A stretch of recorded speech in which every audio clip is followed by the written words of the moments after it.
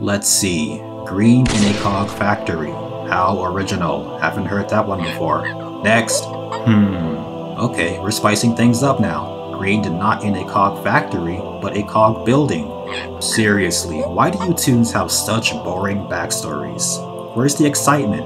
Next, Poggers, what are you doing here? It's not your time yet. Dang, I'm not sure. Excelsior dared me to read a book, and the next thing I knew, I was here.